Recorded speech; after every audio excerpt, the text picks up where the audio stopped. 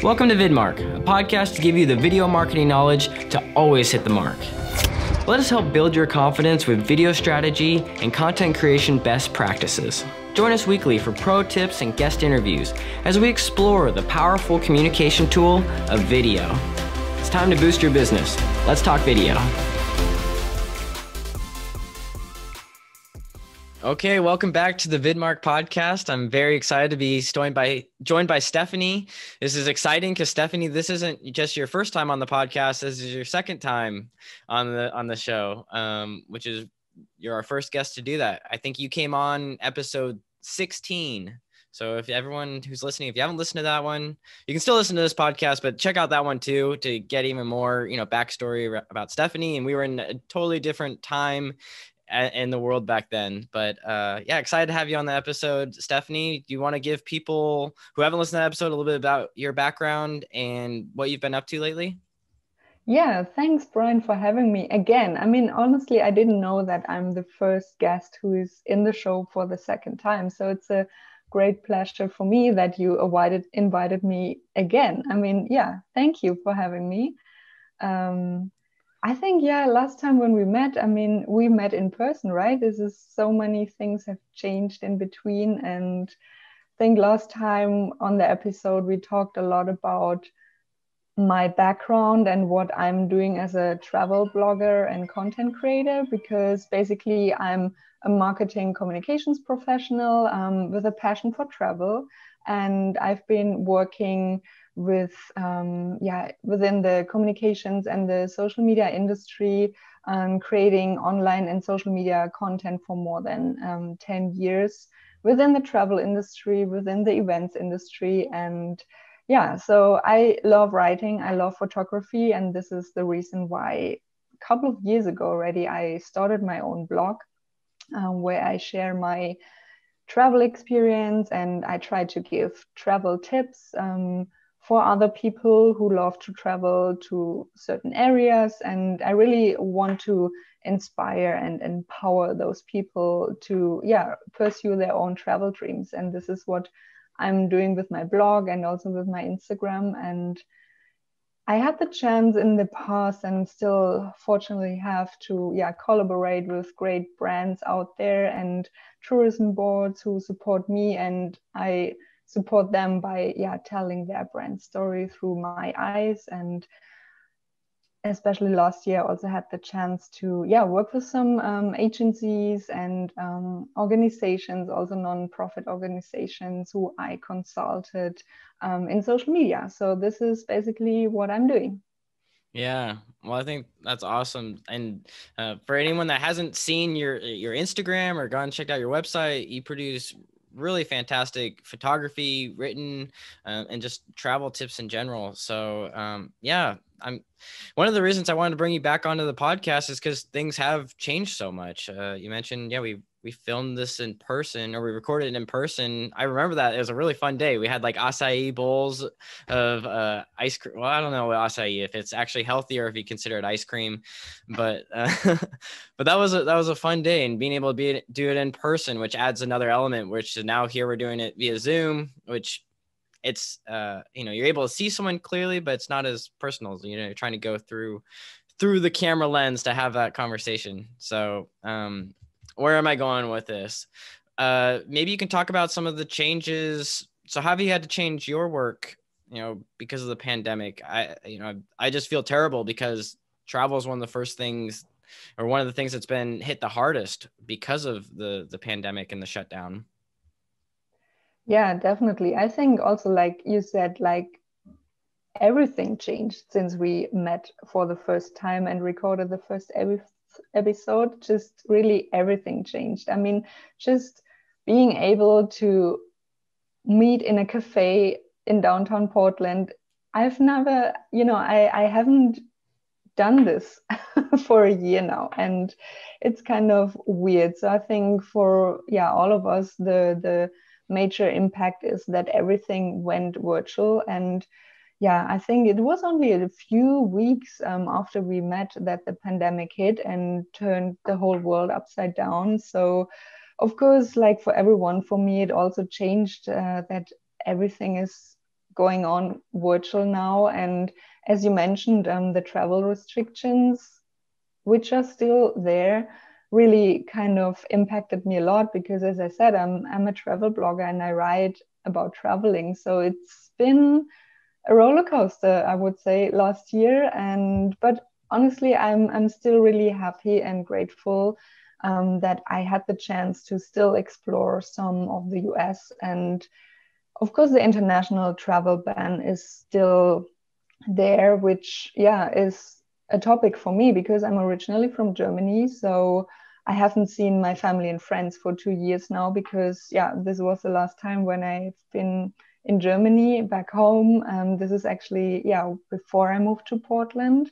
Um, I've been living in Shanghai in China before that together with my husband. And before we moved to Portland, we went back home, meet family and friends, and then all the moving and everything started. And this is the last time when we've been home. And yeah, the international travel restrictions are still there. So it's kind of, yeah, it's a weird situation because I think this is something especially our generation is not used to and especially like people like us growing up in the US or in Europe we are not really used to having restrictions like that you know? We were able like all our lives there sky was the limit. I mean of course there are other um, points you need to calculate in but not everyone has to has the chance to travel all the time but just the opportunity to fly to your home country, fly to another country. It's it's not possible at the moment, and of course this impacts me and yeah,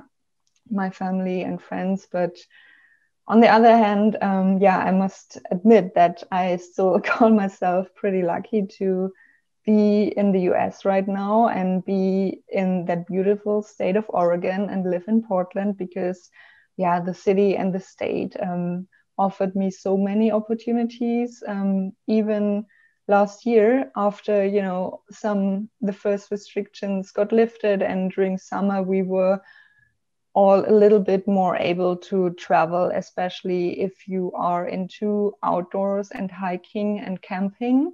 Then I think last year offered a lot of opportunities, especially here in the US, because the country is so wide and you can just go with your car and you know travel into the outback basically and be on your own and really practice social distancing. So you can actually travel safely and responsibly. And yeah this is something i really enjoyed doing last year and i'm, I'm still enjoy doing and really hope that will i will yeah be able to see some more places in the us this year.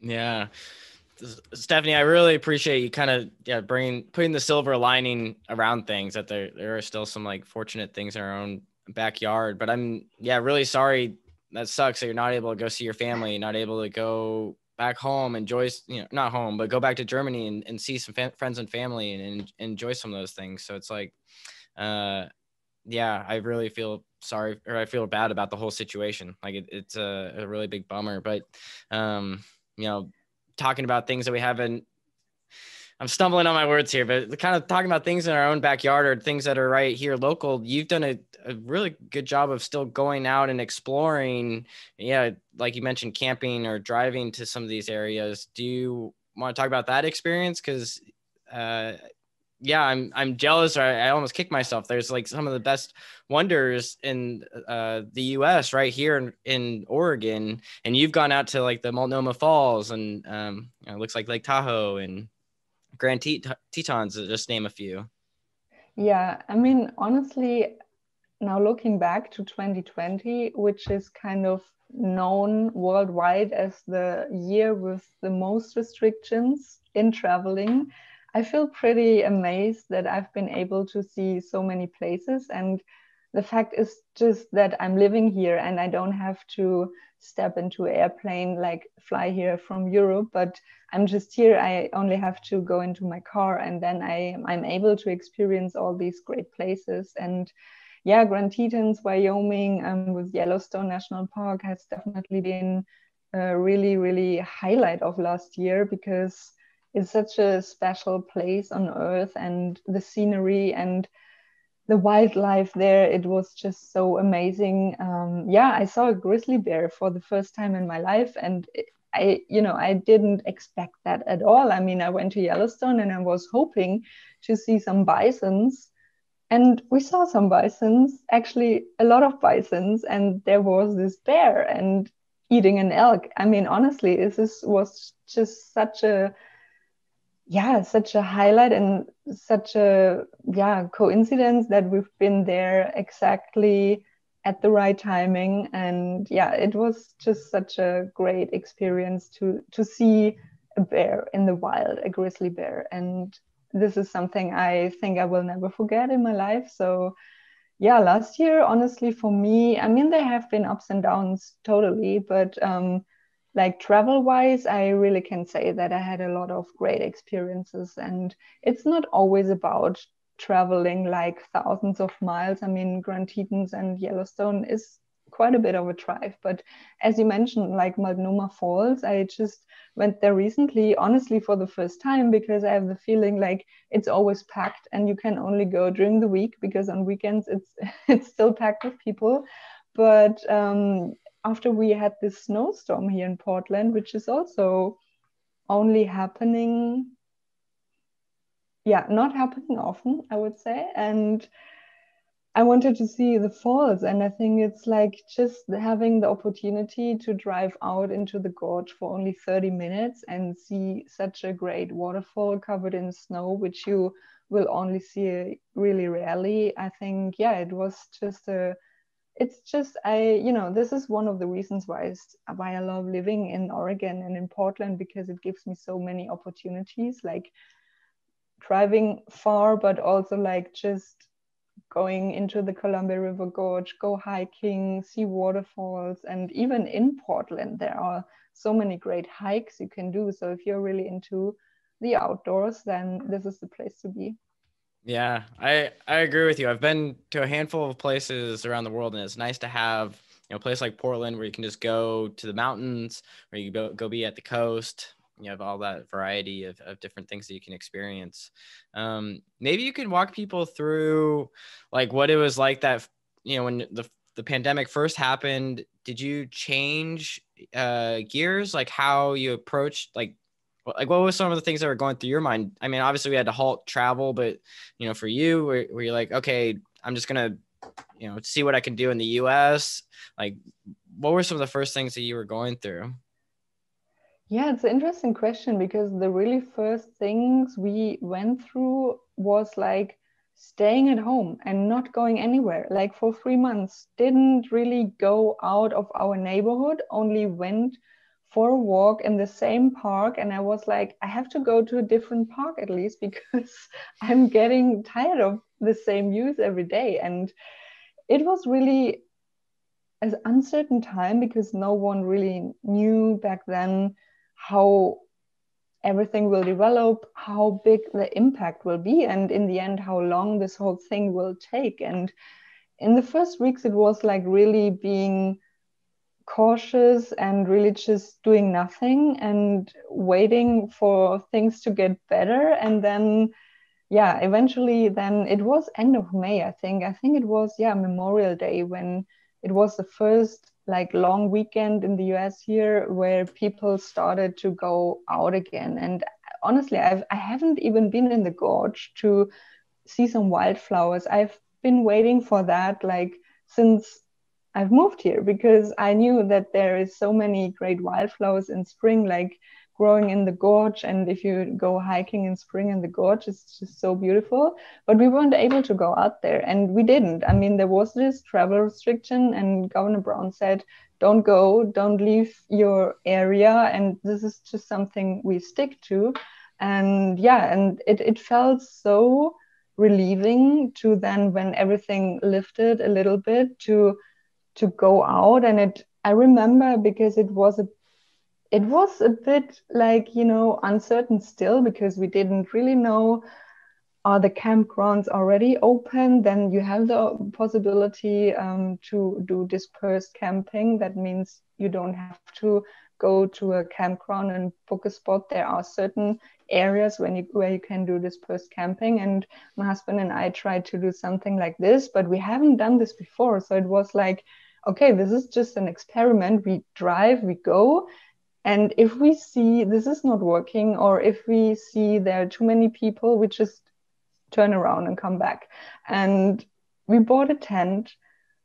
We bought camping gear, which we you know we wanted to to do camping and stuff a little bit more but we felt like this is the only and the safest and the most flexible opportunity for us to go out and experience something when we just take everything we need we just bring everything. We bring our own, you know, we, we have the car, we have the tent where you can sleep in, we bring our camping cooker. So we had to get all that equipment and we bring our own food. So we really don't have to go somewhere to buy food or get into a restaurant or anything like that. And this was an experiment and we tried we we drove to eastern oregon because we thought okay the further we the out we get the better.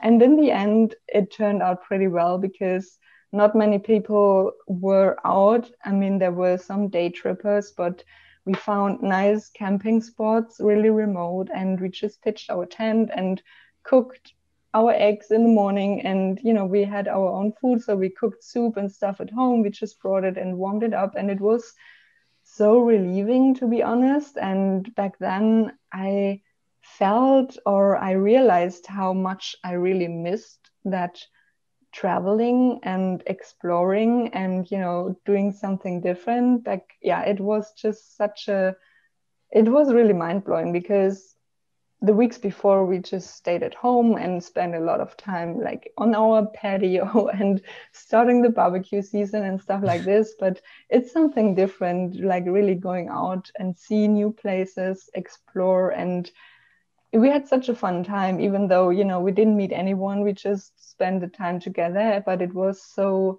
it was new like camping and all that stuff. So it we really loved it. And back then then we yeah we started to grow our equipment. And actually honestly you don't really need much equipment to do that. You just need some sleeping bags some sleeping pads and some camping cooker and some you know um, um, pots and pans but not too much actually. So i think camping if you want to try it out i think this is really something you can just try out without you know getting tons of equipment without spending thousands of dollars. Is this just something everyone who want to tr- who wants to try it can try it? Definitely. Yeah i mean it's kind of like any hobby. You can either you know do very minimal investment just enough to get by or you can yeah go get a giant rv you know winnebago and kind of yeah go all out get the nice camping gear but you really yeah you can go to a used store and get just like you know enough to get by and just enjoy it um i i think that's awesome that you guys uh, when did that trip and still finding ways to kind of stretch or get outside your comfort zone it seemed like camping wasn't as much of a comfort zone and so uh, I know what you mean. Like I, I remember when the pandemic like first hit and we were like, oh, we need to stay inside. And at first I think everyone had the mindset of, okay, like I'll make this, you know, slight adjustment, but things will eventually get better. And then mm-hmm. things like didn't get better. And then everyone's like, okay, well, this is my time to reinvent myself or try to improve um, inside or things are different. But, you know, that only kind of lasted so long. So I think that was awesome what, what you guys did with, you know, going out, exploring and camping. And um, one of the big things I picked up on was just like the newness of it or having a different experience than just the day to day walking to the park down the street. Because um i mean that's how i break up my days. Like when you think of like some of the days that are like the best in my life you know the top 10 days it was it wasn't just like at home. It was because i went out and explored and did yeah. something that really kind of either you know pushed me you know outside my comfort zone or just it was it was a different experience uh, than what i'm normally used to so uh, good for you guys for doing that you, you think you'll do more camping in the future yes Definitely. yeah, totally. I mean, we really enjoy doing that because it gives it so much flexibility and yeah, it it's we are not the big planners, honestly. So we do our holidays or vacation more like, okay, now is a good time to go. Does it fit with work and everything?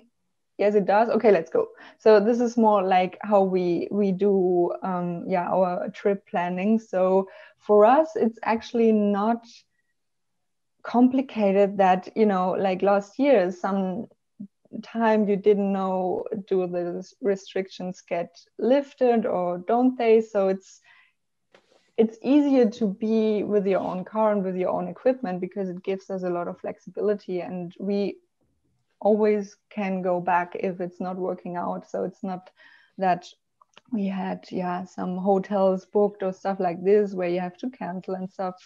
It's yep. just yeah easier. So yeah i think we will definitely definitely um, go on doing this and also would love to try something like you know going in a camper van or in an rv with we haven't done something like this i think this will definitely be one of the next level things we are trying to do this year that's awesome you kind of uh, jogged my you know thought processes um, or just have my own curiosity. When you guys do any kind of trip, is there a formal like process that you go through for the planning? Um, do you like uh, map out you know different iconic things that you want to capture? I know um, you'll bring your camera along. I imagine you probably did that for the camping trip as well. But uh, how much like kind of forethought goes into it? Yeah, actually a lot. I just said that we are not the big planners, but you're right. Actually, there goes a lot of thoughts in it before we do a trip because if you're on your own like driving somewhere sleeping on a campground or doing dispersed camping there are some things you need to research beforehand because i always feel better if i have a you know an outline of what places i want to see how many miles are between places. So you have to kind of plan ahead and sometimes especially in summer you have to make some bookings ahead or at least try because camping was really popular during the last year. So a lot of campgrounds like especially in summer were like totally booked out. So you have to have some alternatives as well if you don't get a campground because a lot of them are first come first serve and you can't even um, book them in advance. So I think in the end, I do a lot of research before. So honestly, my research starts on social media, on Instagram, on Pinterest, where I just look for inspiration and look for places I want to see, and then putting them on a map or on Google Maps. I, I save a lot of spots on Google Maps, and to that helps me to in the end put a road trip or an itinerary together because you know if i do research on arizona for example then i put all the things that i like seeing in a map and then i realize okay there are certain spots together and there are certain spots they located somewhere totally off our trip or our the roads we are planning to drive then it makes it easier to to plan an itinerary and to to plan how much time you want to spend in, at each location. And then yeah i use a, use a lot of like apps as well. For example AllTrails is one of the apps i use a lot for hiking because I love it because it's so many, yeah, people put on their reviews there. So it's not only that you find some facts about the the hike, but also like people comment and give you some information on the trail conditions, for example. So this is an app I, I use a lot. And there are some camping apps out there which I use for finding camp spots or stuff like this. So actually there goes a lot of um, pre-work into a trip planning like this but as soon as I have this, you know, outline, I'm not really planning every day like doing this and that and this and that, but I have those places in mind that I would like to see. But sometimes, you know, to get you get to a place and then it, it turns out to look totally different like you've imagined, or it turns out the trail is closed or something like this. So I always ha- love to have some flexibility in my schedule and yeah, I think it's important to have some kind of outline and itinerary, but also, especially when you do camping, let's live for the day because the weather can be different than expected and you know can ruin your plans if you have planned it too much. And if you just keep it a bit open, then it's easier and more fun in the end. Yeah, I think that's really well put. Um, because I was yeah, I was curious how much goes into it, and I, I like that you kind of yeah, give yourself some flexibility, especially in a place like Oregon where the weather can be a little different, or anywhere. Uh, to, anywhere in the Pacific Northwest, yeah. oh man, um, that's awesome. So I have a so when you are pan- so you like you plan out a lot of these spots by putting them on like google maps and then kind of bunch them together um, and then are a lot of these ideas they come from like reading blog posts or do you sometimes get word like do people that you talk to do they tell you oh you need to go like check out this spot if you're going there do you use that as kind of a way to figure out what are some good spots to go to?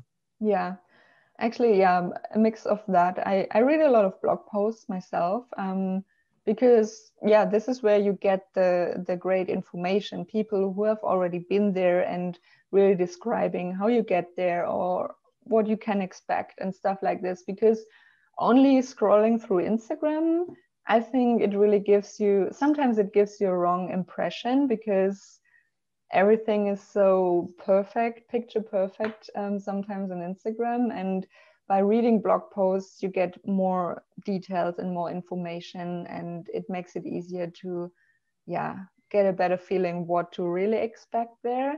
And then, of course, talking to people is is the greatest thing. If you meet someone who has been traveling to that area, this is the greatest um, thing that can happen because people just, you know, recommend a cafe or a place you should stop on the way, which you might have been yeah missing if you're just sticking to your itinerary and not um, looking left or right. So sometimes it's also worth like you know stopping somewhere, some place um, that doesn't look that attractive in the beginning, but maybe someone gave you a hint that there is a nice trail or something or great viewpoint, and then just trying to find that spot um, maybe also sometimes leads you somewhere where you haven't been able to to go otherwise. That's pretty cool. Yeah kind of like hidden extra bit of info and you get to experience something that isn't as mainstream. Um, do you then like if you experience something that isn't as as well known do you put that into your own blog and like kind of reveal it for your listeners or the people that follow you? Yeah i i do because i i think the most important part or what makes the blog unique or why people read my blog is that they know that they get hands on travel tips. And because if i only put in there okay you can like let's say in death valley you can do this this and that i mean this information is out there already but people are looking for like details like when is the best time to visit that spot? Is it sunrise or is it sunset or stuff like this? So, for example, Samuel H. Boardman, this is a really popular spot on the southern coast of Oregon. This is like really rough coastline and it looks really special, like really typical moody Pacific Northwest. And this is a spot a lot of people want to go because there have been pictures on Instagram that all show this certain location. And actually, there is a small path leading down to that location. And when I visited this location, I was really like, okay, where's that trail? It, it's not marked or anything. And people found a way to go down there. But then I realized that it's actually not. Uh, I mean, there is kind of a trail there, but it's not an officially marked trail. It's on AllTrails, but it's it can get a bit dangerous, I would say, because it's quite steep. And especially if you go while it's raining or it's really muddy, then I think it can get dangerous because if you fall, you fall deep. And mm.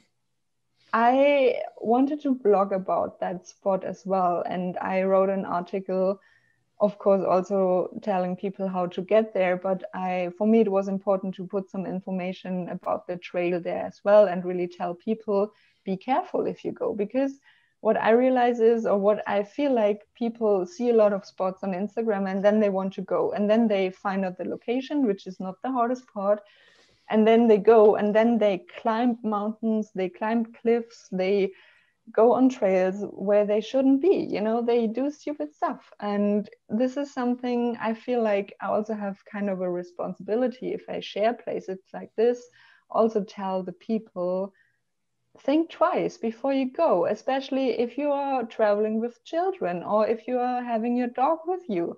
Is this not the safest spot to go down? And if it's raining and if it's slippery you might fall and be aware of that. And yeah this is for example why I put in my blog post this is the condition of the trail, this is how you can find it, but don't go if you can or if you find the trail in this or that condition. And yeah, I'm always trying to to also point those things out because otherwise I feel like yeah, people just, you know, go and then the reality what they expect is something totally different or something that hasn't been written down somewhere and then people just go without knowing what to expect on there.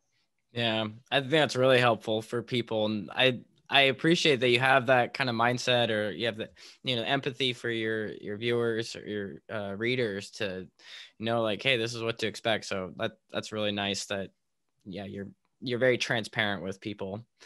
Um you know one of the things i find really fascinating is that you've been able to like combine a lot of these different skills together of writing photography uh travel savviness. Do you want to talk about like each like how you started each of those? Like have you always been a writer? Like have you been doing photography since you were really young? Like how did how did each of those different like passions evolve yeah, I think it really evolved over time. And it wasn't that I really, one day, I thought, I want to have a blog, and I, to create a blog, I need to be able to write and to take nice pictures and also need to have some technical understanding. And then I started learning all of this. It just came over the time. Basically, I started the blog honestly because I wanted to showcase my pictures because photography has always been a passion and I I I think I've been running around with a camera. I I can't really remember a time where I haven't been running around with a camera.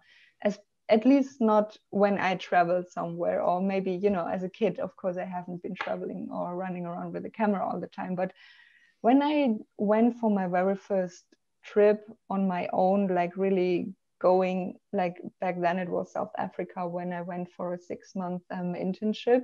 I had my camera with me and not because I wanted to take professional pictures, but because I wanted to capture the moment.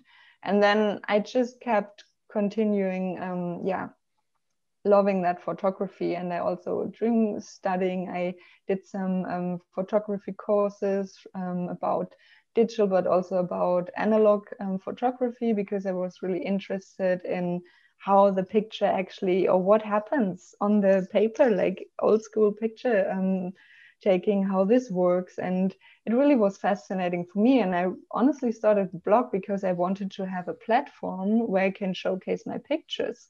And in the beginning, my my my blog was full of pictures and not really much text was on there. And then I figured out that people maybe love looking at pictures, but they want to have some information as well. And back then, I, I worked for um, a big tourism company, a travel agent, uh, like yeah, travel company back in Germany, and I was responsible for in digital marketing for the company's travel blogs. And this was a time when I basically also started my own blog because the job gave me the opportunity to learn a lot about SEO and how content marketing works. And I tried to implement it into my own passion. And yeah, this is when the blog started becoming what it looks like now but of course there has been a lot of like adjustments in between like new templates and new um, yeah i started blogging um, in english and german um, a couple of years ago when I moved abroad um, because yeah, this just gives me the opportunity to reach more people. And yeah, so it's has been yeah a journey i would say like the blog and putting everything together and yeah storytelling just comes with it. And I think, especially like apps like Instagram, are something that really put us into that situation where storytelling becomes so easy. If you like doing it, then Instagram or Pinterest is a great platform to do it. And I just love doing it. And, you know, I, I still love photography, but I also developed um, a passion for writing. And I also love to expand my skills in that because writing is not writing. I mean, writing like blog articles that can be found, like writing SEO optimized um, blog articles is something totally different. And I'm honestly, I'm still learning on that as well. Yeah. Oh, I think that's really smart on your part to not just have, um, and I know that was like, I gave you a big, long like question. So very well done answering that. Um, I know it's very fascinating that like you had the passion for photography and then had the the smarts to like create a blog to like kind of showcase that. I don't know if a lot of photographers go that route. Sometimes they just want the photos to like kind of I don't know, stand for themselves or like they try to go like maybe create a collection or have a gallery. But um, I thought I think that's really smart. And then writing blog posts and you bring up a really good point. It's different than writing like an essay for school or just writing something kind of fun, but it has a little bit of a strategy behind it with uh you talked about SEO. So I'm imagining like kind of some keywords that you find in there and and place those in there strategically so that way it ranks a little higher on on the google search but um, I think yeah, that's awesome. Yeah, especially also providing the information people are looking for because honestly my very first blog post it was like a diary from my travels. And now looking back it's like okay who reads this? Who wants to know that i drank coffee in the morning? And i mean still this content is kind of going well sometimes on instagram and other platforms but it's more about like really or also is, this is my goal. It's not like having a platform where i can just write my diary. It's more a platform where i can share my experience and give travel tips to other people. So yeah that everyone can get the information and can put itineraries together and things like that Definitely. Yeah, I would say every single piece of content you put out there has some kind of value in it that's like helping people. It's like I can you can definitely tell you put a lot of thought and effort into every single thing you do. So um, Thank it you. definitely shows. Yeah. A cactus knows how to survive. It can endure scorching heat, limited rainfall, and defends itself against critters daily. Your business is no different. To survive harsh conditions, it's important to develop deep roots using media content that'll continuously nourish and support your marketing efforts day after day. Tactus Media is here to help you determine a strategy and create media content. Together, let's map out the next sequence of videos, podcasts, and social media to help your business thrive. Work with Tactus Media, media tactics that stick. Ouch! Visit tactusmedia.com to learn more. Okay, so we kind of talked about the different skill sets. Now talking about one of the questions I had, which I think would be one of the challenges in your space, is um, you know, going to a location like let's use like San Francisco for example, because I just went there a couple years ago. There's like thousands of photos of like you know the Golden Gate Bridge, but like trying to create something unique and different. Do you have any tips for people like when you're going to a common space? How do you give it your own like unique flair or unique style to it?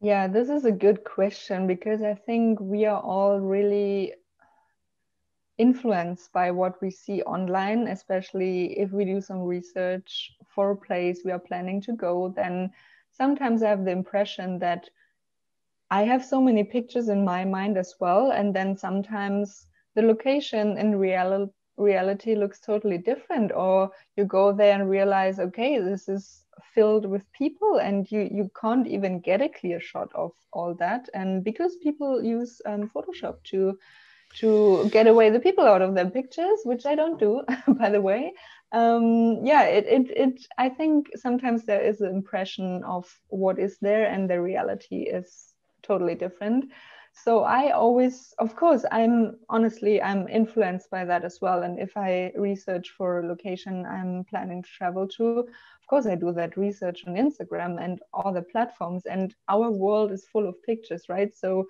you have these spots in mind and then it often helps to yeah to to turn around the corner or because some it, it's funny because some places really you get to the places and then people start queuing in line at a certain spot because they want to have or get exactly that picture. And I don't want to say that I haven't ever been queuing in my life for getting that picture. But for example, in Taiwan, there is a spot um, on a hill, like on a mountain, where you can see um, Taipei 101, um, the big tower. And there is a certain spot, and all the people who go up do that trail up that mountain, the first thing they do, they stay in line and take a picture of themselves um, with the tower in the background. And this was, for example, one point where I didn't want to stop because I was like, really, are people just queuing so that in the end everyone gets the same picture?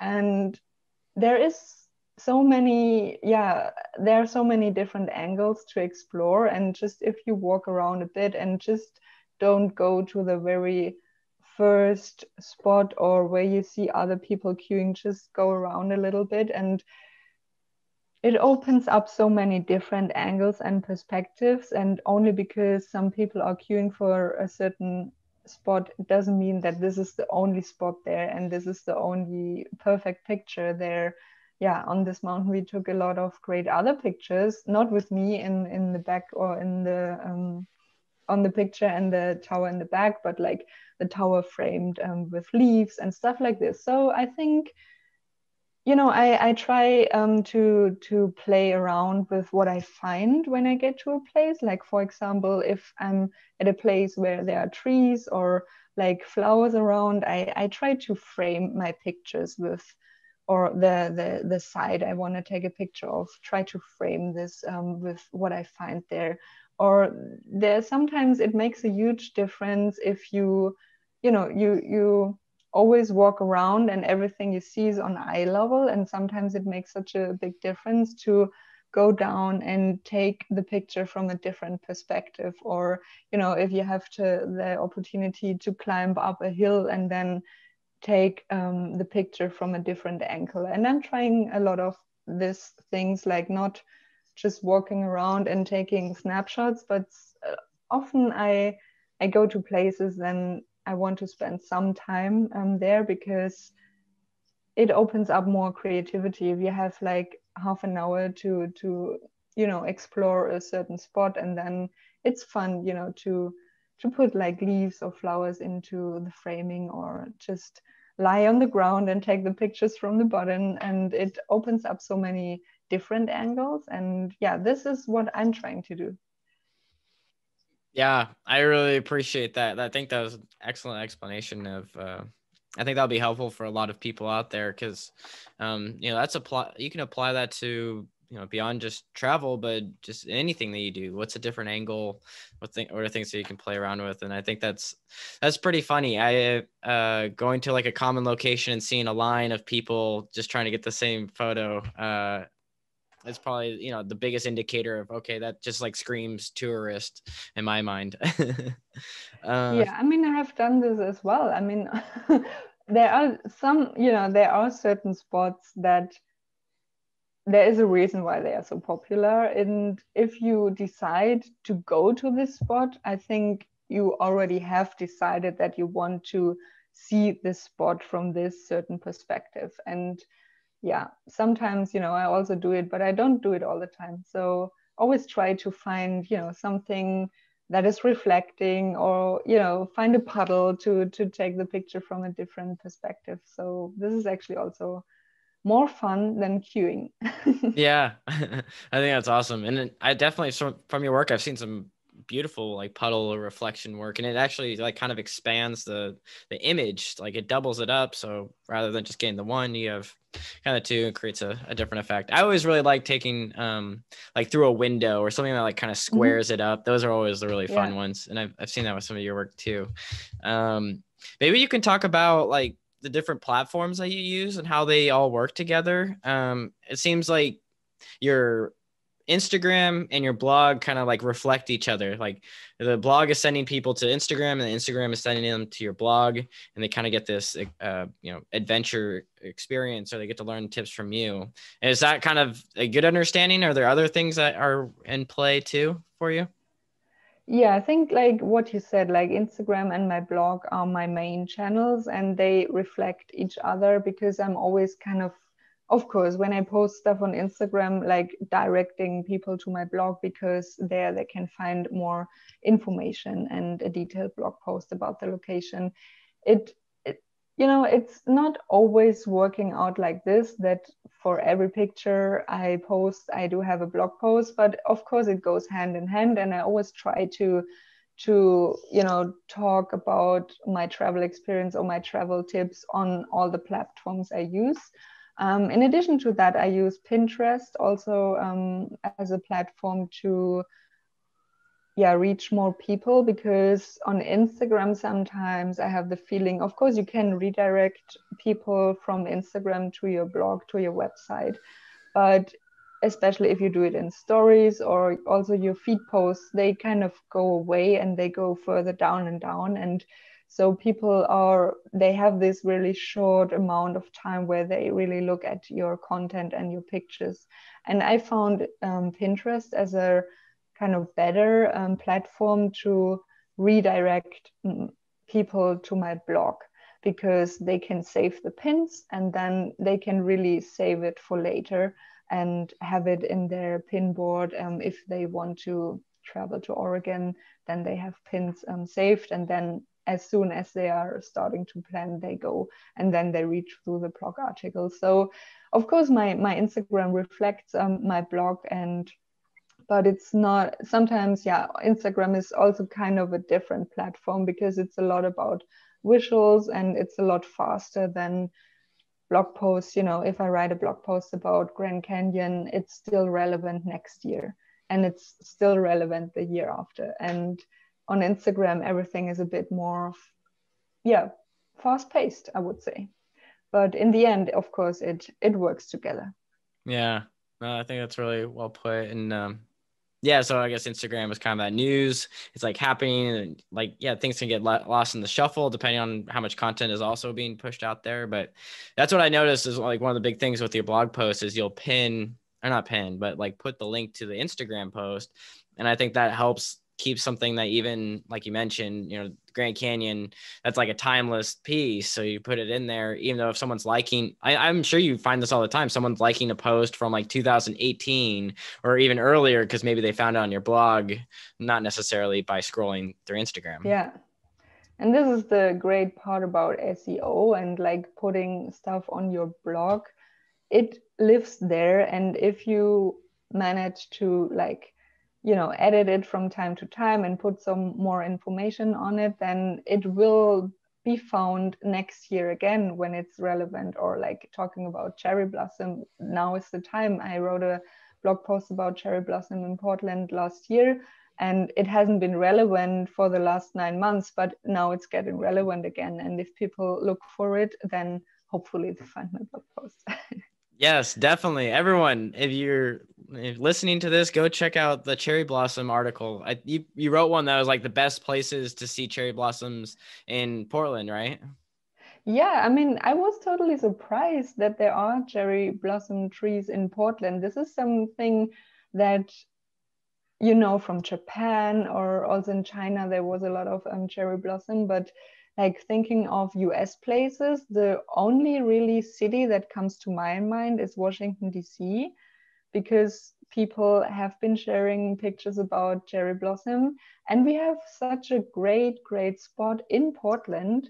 Um, yeah, and there are more spots. Like the one popular spot is, um, I think everyone knows, is on the waterfront. Um, where you have the steel bridge and we have this alley of um, cherry trees. But there are many more spots in Portland. And actually, because we have such a green city and everyone is kind of having trees and flowers in their backyard, in almost every park, some trees and flowers are just um, starting to bloom now. So it's actually a great time to go out and explore the city waking up from winter. Definitely. Yeah, I feel very fortunate. I have one in my own backyard, so I can see it, you know, do its thing, you know, blossom this time of year. And yeah, like you mentioned, it's like kind of short lived. I think they are only in in bloom for like two months, I want to say, and then yeah, the rest. No, of the year. No, even shorter. I mean, now they are a bit later compared to last year. I think it's because of the winter storm we had recently. Um, I think last year they were out like at least two or three weeks earlier, and then sometimes they only bloom for like two or three weeks, and then as soon as the first rain again hits, then they're gone. So it's really this short amount of time um, where you yeah are able to to capture them. Yeah, that is true. Yeah, the heavy rains, they're like a little bit lighter flowers, so the rain will knock uh-huh. them off. Yeah, well, that makes me think of, I mean, the seasons have to play a little bit of an effect on your work. Do you keep that in mind when you're doing, when you want to go travel to a place? Do you think, oh, I'd rather go see that place in summer versus winter because it's going to have a totally different look and feel to it? Yeah, of course. I mean, I, I, love to to travel without like focusing on the peak season because I just yeah love it when when it's not as many people around. So always try to find a good timing when yeah it's a good travel time but still not the most peak season. And of course um, seasons play a big role. For example I, I told in the beginning that um, we went to Yellowstone National Park last fall, and we decided to go there in fall because winters there are pretty long. So summer is the peak season, and it's yeah probably the only real time when you can travel to Yellowstone without having all the summer vacationers there and yeah still be able to to explore um, with sunshine and not you know having to drive there in winter i think until may it's it's still um, winter time there and still really cold especially when you're camping you have to have those things in mind. Um, when is it possible to really camp? When do campgrounds open? Probably um, yeah some areas are still covered in snow until may so of course it plays a role when deciding where to go and when to go. Yeah, no, I think yeah, and that's I'm always curious because yeah, to add such a different effect to how the images turn out or like you mentioned even people being there you know you want to go when it's a little less busy um well one of the you know not to bring things back to kind of a you know negative note but uh talking about the pandemic and um you know how have you seen that the world or like you know the marketing world has responded to the the, the crisis? Um now that we are on yeah one year in the pandemic i would say after some really turbulences in the beginning that the marketing world really responded pretty fast. Because yeah as we talked about earlier already it's like in the beginning no one really knew what happens how the impact will be how long this will all take. But i think after a few weeks, everyone realized that the pandemic will not just go away only because it's getting warmer outside. so, and this I think was the time when, yeah, the marketing world um, absolutely responded to it. I mean, there were so many um, platforms like popping up, and especially Zoom, what we are also using now. It's this is the app or the yeah um, tool that everyone uses, even if it's talking to your family or friends back home, if you want to get um, a bunch of people together, if it's at work, or if it's um, for having like Friday quiz nights. Um, what I remember we did in the beginning of the pandemic, Zoom was everywhere. And I think this is just a company yeah, that blew up somehow. And are other platforms as well. Like I think podcasts is one of those 2020 marketing tools. It honestly it feels like everyone has a podcast now, even though the whole podcast thing or podcast itself isn't a really new thing. Podcasts have been around for years, but I feel like in 2020 it boomed. I mean, really, there are so many podcasts out there about so many topics, and Clubhouse is another app that just recently popped up, um, which is another, yeah, example how marketing world responded to the pandemic because I think it didn't take long until we realized that we need to find ways to connect with each other, even though we can't be connected in person, even though we can't travel, we can't see each other. Life somehow must go on. And I think, um, yeah, there are a lot of um, opportunities that came with that, and marketing responded to that. Also, another example I would say is like, I benefited from it as well. Like a lot of virtual conferences or tutorials or e learning tools popped up last year, and a lot of them were for free. So it was from one day to the other, it was possible to attend a marketing conference, let's say, somewhere else on the world without even traveling to it because it was opened up for the virtual space and oftentimes also tutorials or like as i said webinars or e-learning tools were offered for free and i think yeah a lot of businesses use these tools to attract people and create awareness of their products by providing like free stuff so that people kind of yeah use this and then also you know buy that product or get um, the awareness of a certain product or a certain platform or whatever it is. And yeah i think in the end um, yeah marketing really um, found a way to to respond to everything and as we see like digital or online shopping is growing of course people had to respond because no one was able to to go into shops so people had to find ways how to sell their products online Definitely. Yeah, I know what you mean. Um, thanks for kind of giving that whole like synopsis of how things have radically changed. And yeah, I was like just thinking about the other day, like I, I don't know if you remember the platform Skype was like the yeah. go-to. Everyone's like, "Oh, Skype me," it. and it's yeah, the like the iconic little um, soundtrack that plays when you're about to connect with somebody. Um, but then, yeah, I think if this pandemic would have happened ten years earlier. I think Skype's been around since like mid 2000s. I want to say I was using it, you know, back when I was in you know grade school. I want to say. Um, but if that would if the pandemic would have happened 10 years earlier they probably would have been the leading yeah. you know video conferencing. Um, i'm a little more partial to zoom now. I've enjoyed some of their functionality and features but uh, yeah they were definitely the ones that won out. And i didn't even think about that with like free a lot of the things, a lot of things that we've all benefited is all these conferences that would have cost, you know, quite a bit of money to go see in person. They've now become free online, yeah. which is a which is a huge benefit. Uh, you know, who doesn't like free uh, when it comes to stuff? You know, hence this podcast is free for people that want to just get some information and knowledge.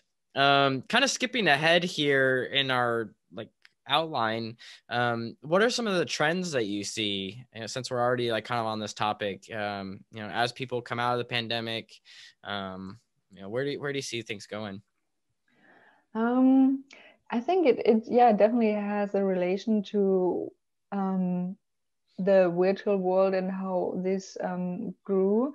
I think this is a trend that we will stick to like the virtual world. I think we will stick to a lot of benefits which comes with it like remote work or having video conferences instead like inviting thousands of people to come to one place. Um, i think companies also realize that it's also cheaper for them if we all do like virtual. And you know it's it's i think there are a lot of benefits that will stay with us especially for businesses and marketing side.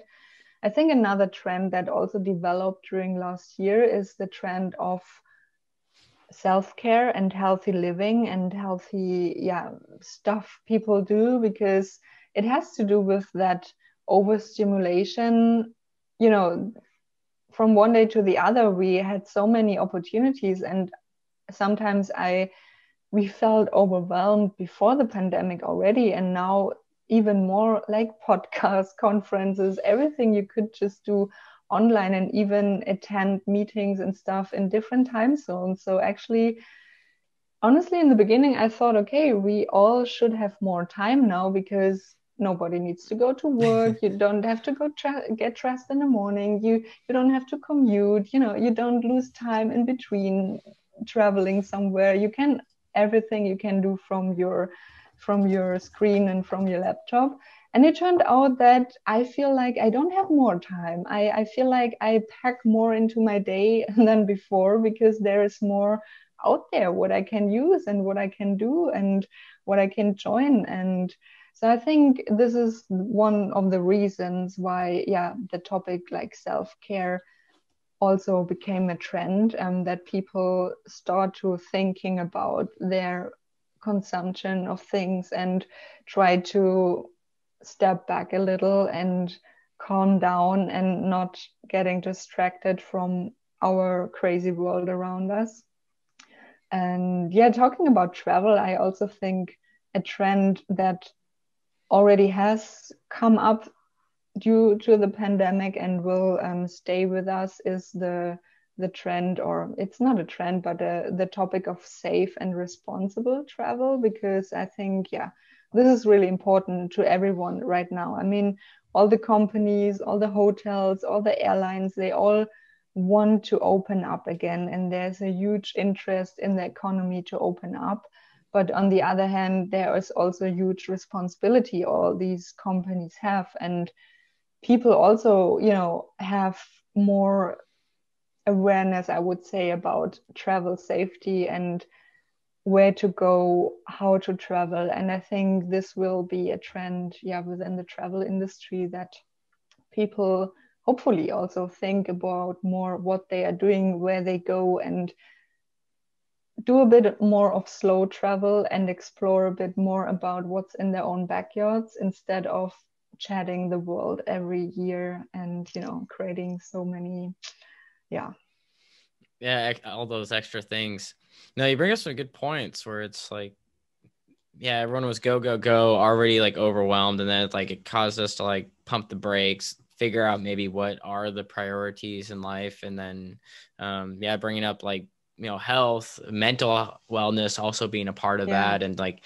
how do you make every day not seem like the same you know still uh, the gyms are shut down how can you still remain healthy and um and then yeah on the other same token you can almost take that to a whole different extreme where you can overwhelm yourself with all the different conferences online and open up a thousand different tabs and be kind of inundated with all of this. So like finding that balance and um i don't know yeah self-care and maybe taking a break from technology and all of that. So yeah really good points. Um this has been a fun really fun interview stefanie. We've gone through a bunch of different topics and um, I really appreciate how prepared you are on my end with like all the notes. It made my job really easy. Um, what are, you know, just really quickly, um, you know, what's one thing that businesses, well, I think we've kind of already talked about it. Like what's one thing that businesses can do to improve, but do you, do you want to speak to that for a moment before kind of starting to wrap things up?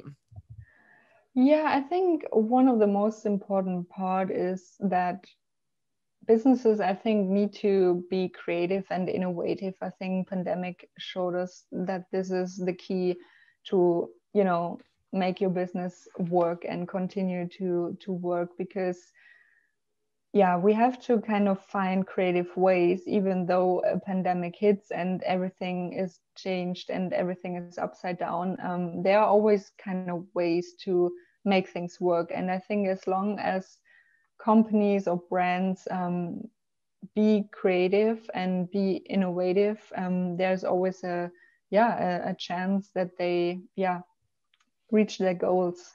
I have a, a small example um, for that before we wrap up. Um, like last year, when everything really was like restricted and no one was able to go somewhere, um, a brand or a tourism board who I've been working with um, in the past already reached out to me. Um, it was Bavaria Tourism, and because in Germany also no one was really like able to to go out, even not go out to to the forest or to to to a lake or go on a hike on a trail. And so they had the idea um, to create a a virtual journey through Bavaria. And back then, Instagram launched the new feature. It was like um, you were then also able to to have this video conference over Instagram. I think the feature didn't really get that popular, but anyways, it was new back then, and they wanted to use that feature to um, bring together some um, people who have been traveling Bavaria in the past and bring them together on Instagram and share uh, moments of their travel memories, and then from that content create a journey, a virtual journey, which they then cut and edited and then put on Instagram TV on their channel. So people were able to, you know, go on a journey through Bavaria. And it was such a fun and interesting collaboration because I was in Portland. All the other people who joined this conversation, it was for um, other people. I some of them I knew before, and some of them I've never met before. And we were just put together and you know talking over Instagram seeing each other only on the screen and then sharing um, our memories um, through our Instagram pictures we had shared of Bavaria before. And it was such a fun journey for us because yeah we we shared so many fun stories together and we i think we talked for more than an hour and they in the end had to cut two instagram um, TV um, videos because they couldn't fit everything into one. and it was so much fun. And it, I think it was a great collaboration and also fun way to watch for their followers because it was some way of creativity like how can we get the people who are really tired of not being able to go out and you know motivate them a little bit and get some positive thoughts into yeah their heads and show them Bavaria through Instagram. Wow, that's really cool. That that was one of the questions I was going to ask. Like, are you kind of repurposing some of the old travel things? And so that seems like definitely one of those examples where yeah. you guys were able to kind of relive those moments. And I haven't been. Well, I guess no, I haven't really been to Bavaria. Uh, even though I've been to North and Southern Germany, but I've only heard that it's just beautiful countryside and um, yeah, just a fantastic spot. So that's that's cool that you guys were able to kind of collaborate virtually and and talk through some of those and they made two videos out of it. That's awesome. um so I guess you know before wrapping things up, Stefanie, maybe you can tell like I know you also do uh, creative content work for brands and companies. So um, maybe you could talk about that aspect. Uh, what are the you know the different you know ways that you can help companies, and then the other aspect is uh, you know who are the people that should follow you on on social platforms?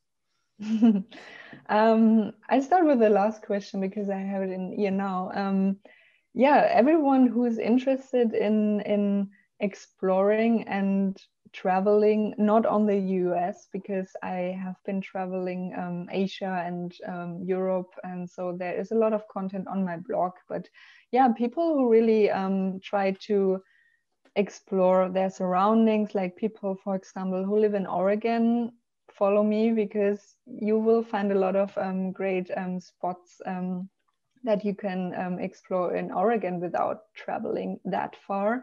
And also um, if you're interested in travel not only travel tips but also like mobile photography tips this is something i'm not doing that much at the moment, but this is something that I'm planning to open up on my channels as well, like really also sharing tips how to do great mobile photography because this is often one thing that people yeah ask me how to create that great content and the answer is you don't have to have a professional equipment and the most expensive camera and 20 lenses and stuff like this all the content I'm creating on my Instagram is with my mobile phone. And there are a few drone shots there as well but it just shows that you don't have to have that big equipment and there are just easy ways how to level up your photography we talked a bit um, about that earlier like taking different perspectives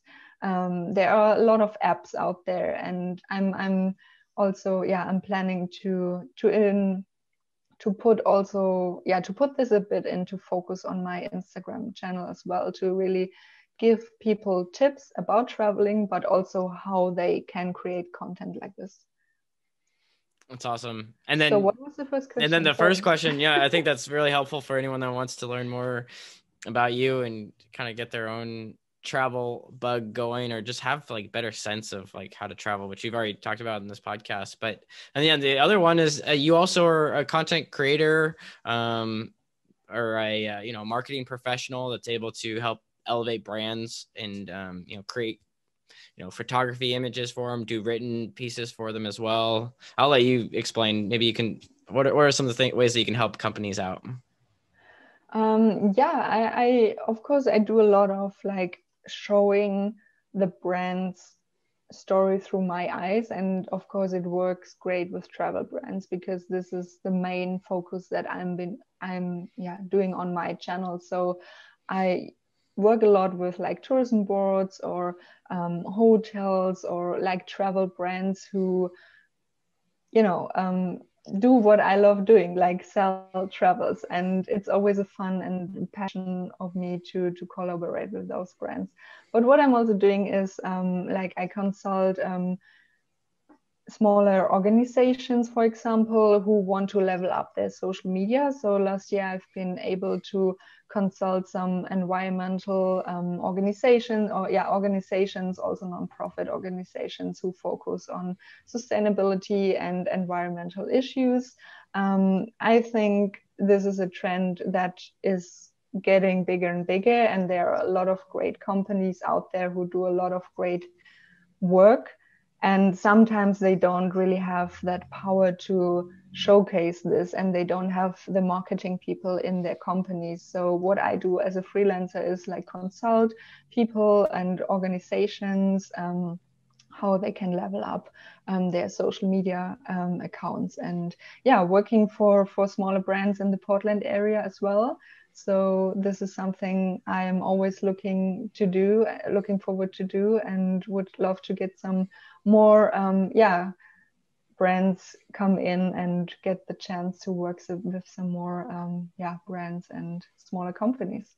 Definitely. You guys heard it. So if you need photos or uh, written or just want to rethink the messaging and how your brand is perceived definitely reach out to stefanie. She can help you with those. Um, yeah so people can go to your website uh, to to book with you, which is smile4travel.de slash en in English, right?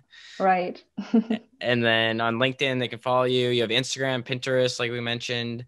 Um, one of my kind of you know last closing questions is so when things do open back up again, what's like the first uh, travel thing that you have? Like, where, where's the first place you want to go internationally? Yeah, I think this is my home country. This answer must be clear I really need to visit family and friends back home. After yeah two years now, it's definitely the time um, to go back to Germany and just you know not really do travel as the normal travel, but travel around the country and meet as many friends um, as possible and spend time with them and the family. Yeah, this is definitely the one thing that I will be doing. Yeah. Well, I hope that happens sooner than later. Um, but yeah, that would definitely sounds nice. Um, you know, who everyone knows we need kind of that, you know, rejuvenation of being around those people that you know we grew up with or that you've shared experiences with. So hopefully that happens sooner than later here in the new year in 2021. Yeah, fingers yeah. crossed. Well, I want to say a big thank you to you, Stefanie. Um, everyone that's tuning in, the links will be in the show notes, so you'll be able to check out Stefanie's website. And um, I also will throw in the Cherry Blossom blog post because I think that's relevant to the Portland listeners here. Very exciting. Um, but I want to just say thank you for all the awesome work that you do and um, inspiring people. Like you're out there doing work that's helping people, motivating them, and you know I can only imagine a world where everyone has a little bit of travel in their background, how much like more empathy people would have for others and I don't know, just people would be more culturally aware uh, through through travel. So thank you so much for everything you do, and thank you for coming onto the podcast, Stefanie. This has been awesome. Thank you so much, Brian. It was again so much fun, and I don't know how long we talked, but um, yeah, definitely spend some time now on Zoom and really appreciate that you invited me for the second time. Definitely. Yeah, I think we went about an hour and a half. So this has been Whoa. awesome. Almost uh, just almost an hour and a half. So so it's been really fun. All right, Stefanie, until next time. And uh, Thank uh, all, you. yeah, and everyone tuning in, remember to make sure that your videos are always hitting the mark. Until next time. Bye everybody. See you next time. Bye. Thanks for tuning in to VidMark, a place for all your video marketing needs. Be sure to subscribe on your favorite platform and tune in every Thursday morning on either iTunes, Spotify, YouTube, and more. For a behind the scenes look and some bonus tips, you can follow us on Facebook, Instagram, and LinkedIn. Until next time, good luck with your video marketing efforts, and remember, always hit the mark.